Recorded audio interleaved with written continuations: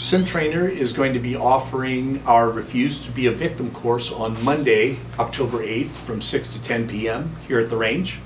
The purpose of this course is to provide instruction on criminal psychology, mental preparation for confrontation, cyber safety, home security, and a variety of crime prevention techniques, including carjack avoidance and utilizing safety devices and, and much, much more. The purpose, the main purpose for this course is that it's the prerequisite for our soon to be offered total personal defense classes.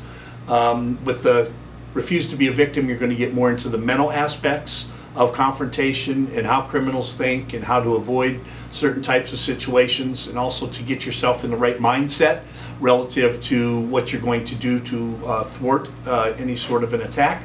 Um, then we're going to move into the total personal defense classes, which will give you an opportunity to learn very simple, easy to use, and effective techniques, including punches, kicks, keychain defense, uh, aerosol spray options, ground fighting, and the like. And we will uh, conclude that session of TPD with uh, some simulation scenarios. So the first thing you got to do is come to the Refuse to be a Victim class again on Monday, October 8th from 6 to 10 p.m. Hope to see you there. Get registered now. Cost is $50.